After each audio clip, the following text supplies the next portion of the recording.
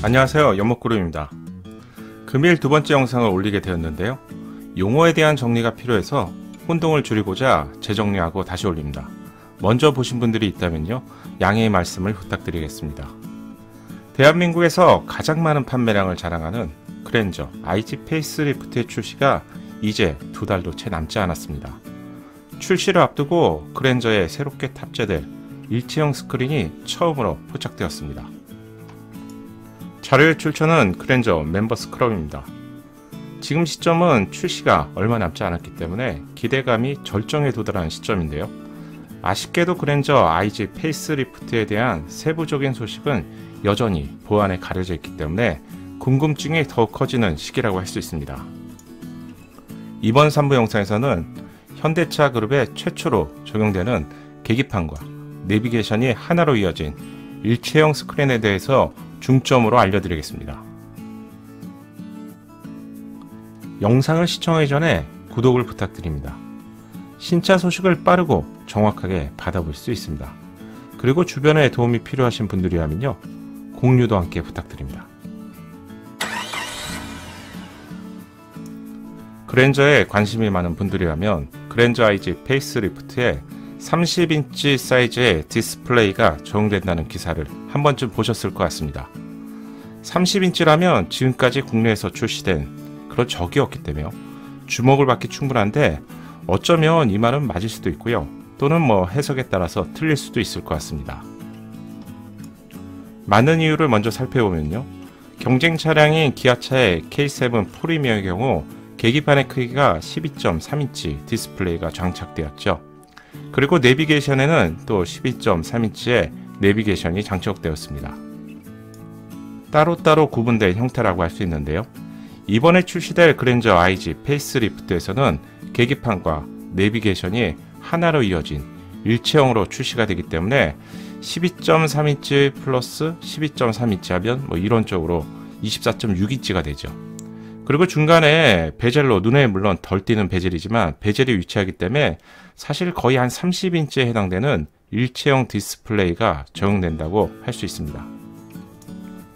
하지만 보는 시각에 따라서요, 두 개의 모니터를 서로 따로따로 생각할 수 있기 때문에 현재 방식처럼 뭐 12.3인치 디스플레이와 그리고 12.3인치 내비게이션으로 부를 수도 있을 것 같습니다. 따라서 현대가 이러한 네이밍을요, 어떻게 명명하느냐에 따라서 30인치급 디스플레이가 될 수도 있겠죠. 그리고 또는 현재의 방식처럼 뭐 12.3인치 디스플레이와 12.3인치 내비게이션 따로따로도 부를 수 있을 것 같습니다. 일체형 방식의 디스플레이는 신차에서 큰 인기를 얻고 있습니다. 특히 국내에서 가장 높은 인기를 얻고 있는 수입 차량 벤츠 E클래스죠. E클래스는 일체형 디스플레이가 적용되면서요. 이러한 이름을 wide cockpit이라고 부릅니다. 한마디로 타 수입 차량에서 제공되지 않는 확실한 차별성을 제공한다고 할 수가 있는데요. 벤츠의 계기판을 자세히 보게 되면 국내 차량들과 달리 계기판과 내비게이션이 일체로 연결된 것을 알 수가 있습니다. 한마디로 처음 보시는 분들이라면 시선을 강탈하는 압도적인 분위기를 자랑합니다. 이런 방식의 일체형 디스플레이를 그랜저 IG 페이스 리프트에서도 만나볼 수 있을 것 같습니다. wide cockpit이라고 부르는데요. 장점을 하나씩 따져볼까요? 첫 번째, 새로운 경험을 제공하기 때문에 정말 최신 차량다운 느낌을 받을 수 있습니다.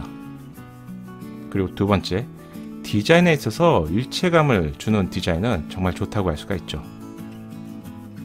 그리고 세 번째, 두 개의 모니터가 연계돼서요, 다양한 정보를 제공할 수 있습니다. 예를 들면 계기판에 뭐 내비게이션을 띄우는 건 뭐 다양한 뭐 버추얼 콕핏 방식의 뭐 아우디 차량이나 다른 차량에서 볼 수가 있죠. 물론 국내 차량들에서 일부가 볼 수 있는데 후측 방 모니터를 화면에 따로 띄울 수도 있고요. 또는 기존 내비게이션 화면에는요 날씨 정보, 증권 정보, 생활 정보 그리고 지도까지 유익한 정보를 다양한 방식으로 제공할 수 있기 때문입니다. 또한 마지막 네 번째는요 옆에 타는 동승자에게 은근히 자부심을 제공해 줄 수도 있죠. 또한 소비자뿐만 아니라 제조사 입장에서도 이러한 디스플레이는 중요한 마케팅 포인트라고 할 수 있습니다. 흔히 신차를 강조할 때 유심하게 체크해 보시면요. 내비게이션 사이즈가 공통적으로 커졌다는 말을 듣게 됩니다. 불과 몇 년 전만 해도 7인치 또는 8인치 내비게이션이 주력이었죠. 최근에 출시된 중형 신형 소나타에는요.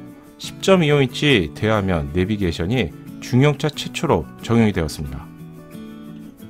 그리고 소형급 SUV인 셀토스에는요. 10.25인치의 대화면 내비게이션이 적용되었습니다. 이 정도 사이즈라면 불과 얼마 전까지만 해도 대형급 차량이 아니면 감히 뭐 소형 SUV에서 적용된다는 것은 상상조차 하기 힘들었습니다. 최근 새롭게 출시된 준대형 세단이죠. K7 프리미어에서요. 12.3인치의 대화면 내비게이션이 준대형 세단 최초로 적용이 되면서 이슈가 되었죠. 제조사 입장에서는 신차임을 강조하기 위한 가장 손쉬운 방법 중에 하나가 바로 내비게이션의 크기를 강조하는 건데요. 이러한 부분을 마케팅으로 적극 활용하는 것을 알 수가 있습니다. 그렇다면 국내 제조사 최초로 일체형으로 제공되는 그랜저 IG 페이스리프트에 장착되는 일체형 스크린은 어떤 모습이고 어떤 기능을 제공할까요? 최근 현대자동차는 기존의 하만카돈에서 LG그룹으로 전장 부품 공급사를 변경했죠. 제네시스 GV80 영상에서 연못구름이 이미 알려드렸던 내용입니다. 현대자동차는 이번 그랜저 IG 페이스리프트에 기아차 K7 및 자사의 신형 소나타와도 차별성을 제공하기 위한 방법으로요. wide screen cockpit display를 탑재하고요. 그랜저를 프리미엄급을 대표하는 플래그십으로 키우겠다는 의지를 여러 차례 뭐 언론을 통해서 발표했습니다. 그리고 오랜 기다림 속에 그랜저 IG 페이스리프트 실내 사진이 드디어 포착이 되었습니다. 화질이 좀 떨어져서요. 화질 보정 작업을 여러 번 했는데요. 조금 아쉽지만 뭐 이 정도면 충분히 알아볼 수 있는 디자인이라고 생각합니다. 하나씩 꼼꼼히 살펴보겠습니다. 와이드 디스플레이는 점선처럼 계기판부터 센터페시아 상단까지 일체형으로 연결되는 디자인이 적용된 것 같습니다. 모니터의 크기는 뭐 확정할 수는 없지만요. 12.3인치로 보이는 두 개가 적용된 것 같고요. 가운데 부분을 잘 보시면 디자인으로 잘 처리를 했는데요. 두 개의 모니터의 중간에 베젤이 있는 것을 알 수가 있고요. 하나의 모니터처럼 일체형처럼 보이는 것 같습니다. 첫 번째 모니터가 운전석, 계기판이 위치한 부분부터 시작되기 때문에 운전석에서 센터페시아 상단까지 쭉 연결한다면요. 대략 한 30인치 정도의 크기로 예상이 되는데요. 센치로 단위를 변환해 보면요. 76.2mm 정도예요. 크기로 예상이 됩니다. 굉장히 크기죠. 포착된 위장막 차량을 자세히 보면요. 계기판 내부의 디자인도 변경된 것 같은데요. 덕분에 기대감은 더욱 커지는 것 같습니다. 대략적인 윤곽과 디자인은요. 벤츠의 E클래스를 참조하시면 좋을 것 같은데요. 그랜저에서도 실내 감성을 높이는 ambient가 제공될 것 같은데 아 상상만 하더라도 정말 멋지고 즐거운 일이라고 생각합니다. 아마도 그랜저 IG 페이스리프트를 구매하실 분들이라면 아 가슴이 설레게 되는 것 같습니다. 사실 이런 디자인은 국내 차량에서도 적용된 적이 있죠. 넥소에 적용된 통합형 디스플레이가 연못구름 생각에는 원조라고 할 수 있습니다. 하지만 뭐 수소 차량이라는 친환경 차량이라는 워낙 수요가 작아서요. 이러한 차량들은 모르시는 분들이 더 많고요. 이러한 부분이 개선된 형태로 이번 그랜저 IG 페이스리프트에 적용되었다고 표현해도 좋을 것 같습니다. 현행 그랜저 IG와 포착된 그랜저 IG 페이스리프트 차량을 비교해 본다면요. 완전히 달라졌다고 할 수 있죠. 거의 뭐 환골탈태 수준이라고 할 수 있습니다. 단순 상품성 강화 버전인 페이스리프트급에서요. 역대급 변화가 적용된 차량이 있다면 바로 그랜저 IG 페이스리프트라고 생각하고요. 특히 실내 부분에서는 정말로 역대급이라는 표현이 적당할 것 같습니다. 이번에 그랜저 페이스리프트 실내에 핵심 정보라고 할 수 있는 일체형 스크린이 포착되면서요. 예상보다 많은 정보가 공개되었다고 할 수 있습니다. 지난 영상에서는 감성적인 그랜저 IG 페이스리프트의 실내 공간을 알려드렸죠. 거의 제네시스급이라고 표현해도 무방할 정도로 높은 감성을 보여주는 것 같습니다. 그리고 스티어링 형상과 기어박스 주변부의 모습도 포착이 되었기 때문에 이제 센터페시아 하단부의 세부적인 디테일만 확인이 된다면요. 많은 부분이 공개되었다고 할 수 있습니다. 여기서 구독자분들과 한 가지 의견을 여쭤보고 싶은데요. 일체형으로 통합이 되면서 훨씬 커진 내비게이션에는 어떤 기능들이 새롭게 추가될 수 있을까요? 아마 현대자동차가 어떤 이름으로 이 와이드 디스플레이를 부르게 될지 모르겠는데요. UI나 UX적으로도요, 많은 부분이 개선돼서 적용되었을 것으로 예상합니다. 디스플레이 한 개의 크기가 12.3인치 정도의 크기라면요. 이론상 3분할 화면이 가능해지죠. 따라서 운행 시 다양한 정보를 제공할 수 있습니다. 뭐 단순한 추측이겠지만요. 포착된 실내를 보면 현행 그랜저와 달리 내비게이션 우측에 제공되었던 시계가 보이지 않죠. 사라진 것으로 예상이 되는데요. 운행 중에 3분할된 내비게이션에 아날로그 같은 디자인의 시계를 당연히 띄워줄 수도 있지 않을까요? 이런 부분은 어디까지나 연목구름의 생각이기 때문에 조금 억지스러울 수도 있습니다. 하지만 현대차 그룹이라면 이 정도를 넘어선 다양한 UI, UX를 접목해 볼 수도 있을 것 같은데요. 어디까지나 추측이지만 이런 와이드 디스플레이에게 현대차는 플래그십 그랜저의 다양한 기능을 제공할 것으로 예상이 되고요. 그런 이유에서 여러분의 자유로운 상상을 듣고 싶습니다. 만약에 여러분들이라면 어떤 의견들이 나올지 궁금해지고요. 어떤 기능들을 와이드 스크린에 탑재할 것 같습니까? 아마도 이런 부분은 현대차에서도 모니터링을 한다고 생각하기 때문에 여러분의 의견을 적용시켜 줄 수도 있지 않을까요? 국내 최초로 일체형 스크린이 적용되면서요.